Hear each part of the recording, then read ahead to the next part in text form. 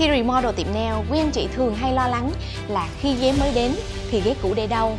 Quý anh chị không cần phải lo lắng nữa bởi vì Luxa có chương trình trade-in thật là hấp dẫn. Quý anh chị hãy gọi ngay vào Luxa để được tư vấn về chương trình trade-in. Chúng tôi sẽ đem ghế mới đến, đem ghế cũ đi và offer một credit vào trong ghế cũ của quý anh chị. Nếu như quý anh chị đã sẵn sàng để build những salon hiện đại và đẳng cấp cho bản thân mình, hãy gọi ngay vào Lux Spa để được tư vấn 704 899 5899 hoặc vào website của công ty ở luxspachairs.com hoặc luxspashop.com. Lux Spa sẽ đồng hành với quý anh chị trên mọi nẻo đường để giúp quý anh chị build những salon hiện đại và thành công nhất.